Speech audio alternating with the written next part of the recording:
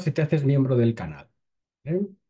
Tienes cursos gratuitos. Si te haces miembro del canal, te damos de alta en los cursos que tiene el canal. Simplemente te das de alta, nos escribes, comprobamos que eres miembro del canal de YouTube y te damos de alta en los cursos. Y estarás dado de alta en los cursos mientras seas miembro del canal. También tenemos contenidos exclusivos para miembros, vídeos solo para miembros.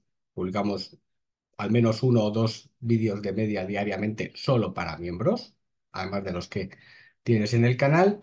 Y tenemos un directo para miembros todos los miércoles a las 7 de la tarde.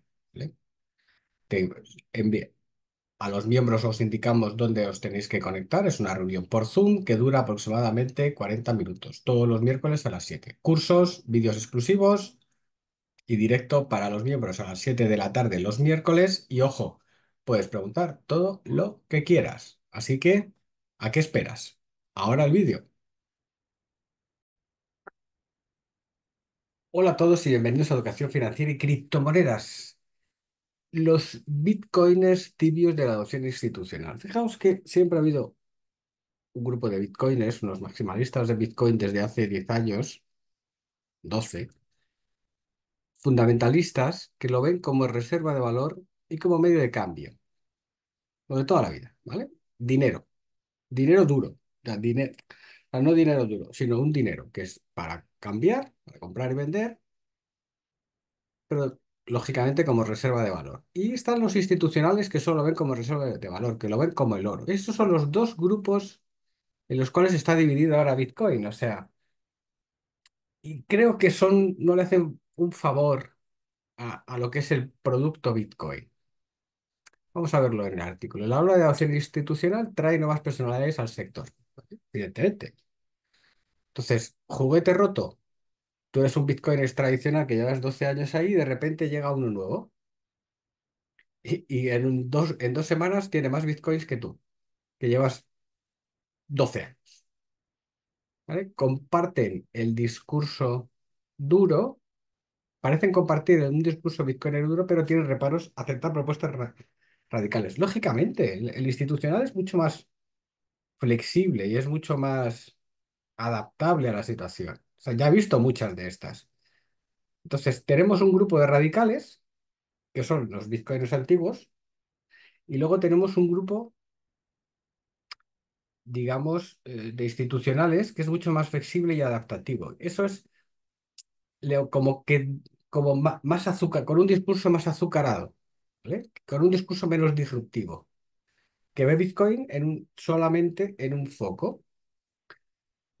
Entonces, tenemos nuevos Bitcoiners que vienen del mundo corporativo tradicional y que tienen mucha prensa, que parecen compartir el 100% de los ideales de, Satoshi, pero que a la hora de la, de la verdad son diferentes.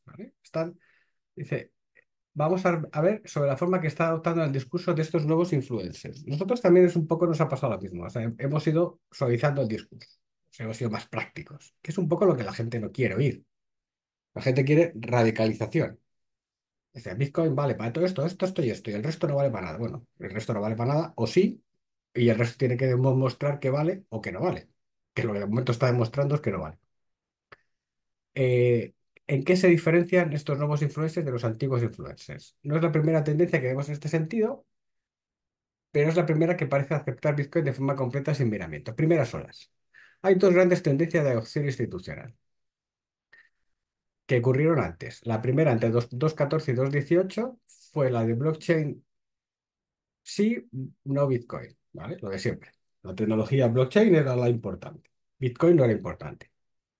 Hyperledger es el producto. La segunda ola, después de que Ethereum se crease, tuvo su auge en, en 2017 y terminó con la queda de, FTX. Cripto sí, Bitcoin no. Es la ola de los criptobros, las ICO, los NFTs, el metaverso, el DeFi, el el farming, etc. ¿Vale? Una especie de ciberpunk con emprendeduría Silicon Valley. Eso está claro. Ahora estamos en otra parte. Bitcoin era una tecnología vieja y estancada, y es vieja y estancada, lógicamente y que los emprendedores de cripto estaban inventando la nueva BTC 2.0 que va a ser más revolucionaria y que, y que compararla era comprarla equivalente a ser el héroe. Eso es una gilipollez. O sea, el, oro es tendrá su hueco independientemente. De hecho, el oro tiene un hueco espectacular. Claro, que es que es rancio. O sea, lo que, el problema es que el discurso de Bitcoin se ha quedado como un discurso rancio. O sea. Pues sí, Bitcoin es un discurso rancio, pero efectivo. Entonces, quiere ser disruptivo, pero te das cuenta que ya va a ser un producto que tiene 15 años y que ya se queda rancio. Entonces, eh, estos dos momentos ya pasaron. Y en sentarse en la mesa de los adultos. En 2018, una funcionaria del gobierno escribió una nota de opinión de la salida de la salida de los niños al lino blanco. Adiós a la anarquía infantil de cripto. ¿Vale? La autora compara el mercado cripto con un niño que, es, que tiene su cena en una sala infantil, pero que a madurar se le permite sentarse en los grandes, que serían bancos, gobiernos y corporaciones. Exactamente que es donde estamos ahora. Hemos pasado de la mesa de niños a la mesa de adultos. Y claro, es muy aburrido. ¿Vale? Eh, los mercados de futuros de Bitcoin, fondos de inversión de Bitcoin, que se adoptaron al final a lo largo de los últimos 23 y 24, pero ya en 18 y 19 ya empezaban a salir. Al desre- la nota se refiere al desregulado ecosistema de exchange en modo condescendiente. La narrativa ataca directamente a los, principios agoristas y criptoanarquistas que se fundó. Ahora la iniciativa es totalmente distinta. O sea, esto es, una cosa son los emprendedores que van a conquistar el oeste americano y esos emprendedores que van a conquistar el oeste americano al cabo de dos, tres generaciones son los terratenientes del petróleo. El glamour se pierde. Y ahora que, y están haciendo lobby en, el, en Nueva York y en Washington para que les den mejores concesiones. ¿Qué es, qué es lo triste? que los, eh, los emprendedores del siglo XIX, de principios del XIX o de mediados del XIX, son los terratenientes de finales del XIX o principio del XX. Pues claro, ¿dónde se perdió? Ahora, como todo va mucho más rápido, pues es lo que está sucediendo. Bitcoin, pero no tan Bitcoin, el ángel de los cripto, criptomoderados. Esto creo que son. Es el, el criptomo- es que es donde estamos nosotros ahora mismo. Esta tendencia es un poco más sutil que las anteriores, ya que no rechaza, no rechaza Bitcoin, pero le abre los brazos de manera parcial. Son, por ejemplo, BlackRock y MicroStrategy. BlackRock. Bitcoin es un activo que te protege. Creo que si sube, que sube si el mundo está asustado, si la gente tiene miedo de riesgos geopolíticos, tiene miedo de sus propios riesgos. No es diferente de lo que representó el oro durante miles de años. Clase de activo que te protege. Y eso lo tienen claro los de BlackRock y lo de mucha gente. Yo, yo también. A ver, que es un activo potente, un activo que se desarrolla y que hace la... Nvidia es un activo potente. Nvidia, por ejemplo. O yo que sé, una empresa de bioingeniería que de repente, de, o biotecnología que de repente descubre cómo pasar de vivir 100 años, de vivir 80 años a vivir 120. Claro, a disparar a lo bestia. Todo el mundo quiere eso. Bitcoin no compite con el dólar, no es una moneda. No es una moneda. Lo dice el tío de MicroStrategy. ¿Por qué lo dice el tío de MicroStrategy? Porque quiere tener su hueco, no quiere que le jodan. La criptomoneda es un, sellando la definición de moneda en que puede utilizarse como medio de cambio sin que se produzca un hecho imponible. Criptomoneda es un peor término porque legalmente no es una moneda. Es un término intelectual, pero el problema es que la mayoría de la gente equipara dinero con una moneda. Así caen en las mismas trampas cognitivas. Criptopropiedad es mucho mejor. Bueno, tiene toda razón. La idea central es aceptar a Bitcoin como reserva de valor, pero no como medio de pago, intercambio. A ver, es un medio de intercambio también, porque se puede usar. O sea, el oro no es un medio de intercambio, es un coñazo. También se puede usar. Se puede pagar una mercancía con oro. Bueno, ¿cuánto vale eso? Te doy 50 millones de dólares en oro, ya está. Eso, es aceptado. Que, Pues se hacen cosas así. Pero claro, tiene que ser práctico. ¿Vale? Eh, dice, no se trata solo, dice, la idea central es aceptar Bitcoin como reserva de valor, no como un medio de intercambio. No se trata solamente de que no llegó ahí todavía, sino de que no es su objetivo y no es deseable que sea un medio de intercambio. Esto es. ¿Por qué? Porque lo que no quieren es lo que no quieren es que le den por. O sea, el problema principal está en que Bitcoin sea un medio de intercambio sobre otros medios. Que se utilice de vez en cuando no pasa nada, que se utilice sistemáticamente es un problema. Porque, claro, dices, oye, Estados Unidos, Rusia, China, Japón, perdona. Si siempre usamos Bitcoin, estamos jodidos. Hay que usar, hay que, tenemos que usar nuestras diferentes monedas que para eso están. Entonces, si ahí tiene su hueco, su hueco siempre ha sido oro 2.0. Punto. Y como era 2.0, tiene que tratarse. Se trata del abandono intencional de las ideas más radicales de Bitcoin. Pretende que Bitcoin sea un medio de intercambio, es desafiar abiertamente al monopolio estatal sobre la... Dice, si tienes un medio de intercambio es desafiar abiertamente al monopolio estatal sobre la visión monetaria. Los líderes corporativos no quieren eso, no quieren pegarse, pero porque es lógico. O sea, BlackRock tiene 10 billones de dólares. ¿Qué cojones quiere competir con el dólar? ¿no? Tiene su mayor parte de, de pasta en dólares y quiere seguir tranquilo. Intenta presentar a Bitcoin como una inofensiva reserva de valor, como un commodity que puede comprarse para guardar los ahorros mientras el dólar sigue siendo moneda de cambio. También presentan a Bitcoin como la invención genial de un solo individuo y no como la interacción exitosa de varios experimentos para crear una moneda digital descentralizada. Bitcoin es un sistema de dinero en efectivo electrónico. Peer-to-peer, ya claro, pero es que ese discurso ya no nos interesa. O sea, nosotros estamos aquí para ganar pasta, no para disruptir el mundo, porque si disruptimos el mundo nos quedamos sin el chiringuito. Y el resumen explica, su propósito es enviar pagos online directamente entre pares sin pasar por una institución financiera. El hecho de que funcione para almacenar valor es secundario respecto a su objetivo principal. Bueno, su objetivo principal en el año 2015 ahora es otro objetivo, el principal que le vamos a hacer. No. Y la gente no quiere romper. Gobierno estadounidense y la idea de Bitcoin como reserva estratégica. El dólar permanecerá como moneda de cambio, mientras el gobierno tendrá una reserva de Bitcoin junto con su reserva de oro. Perfecto, y esto es lo que queremos todos. En caso de que el dólar pierda hegemonía, tendrán el, oro para proteger su poderío económico y en caso de que el oro falle, tendrán Bitcoins. Tendrán todo lo que se considera reserva de valor. Punto. Los criptomoderados corporativos pretenden convencer a sus gobiernos con los que trabajan con acuerdo de asegurar una reserva de Bitcoin para financiarse y mantener su hegemonía. ¿Vale? Pues sí, me parece lógico. Dos escenarios. Escenario uno, cambiar todo para que nada cambie. Similar a lo que ocurre con otras commodities que se usan como moneda. La autocustodia de Bitcoin se vuelve desaconsejable o ilegal. Solamente puede interactuar con la red a través de un banco o una entidad financiera con KIC. Cada minero tiene que tener una licencia y debe monitorear la red para cumplir las normativas vigentes y bloquear y reportar transacciones sospechosas. O sea, metemos a Bitcoin en instituciones y le quitamos todo su glamour y todo lo que parecía interesante. Pues puede suceder, puede suceder y seguramente sucede. Los expertos del gobierno y de grandes corporaciones manejan Bitcoin, el activo que no es una moneda, y deciden que sobre el desarrollo de Bitcoin, el software, a través del financiamiento a los desarrolladores más afines o a una federación entre varias compañías y gobierno. Bitcoin se convierte en una pieza más del sistema financiero global. Sin, sin modificarlo sustancialmente, ayudando con transacciones más eficientes y transparentes a los actores más poderosos, mientras que la mayoría de la población sigue con patrón. O sea, quiere decir que hacen un Bitcoin a imagen y semejanza de las instituciones. Los, el escenario 2, Bitcoin como caballo de Troya, los criptomoderados creen que pueden controlar Bitcoin, pero sus características terminan haciendo que sean ellos los que terminen siendo funcionales a los ideales criptoanarquistas.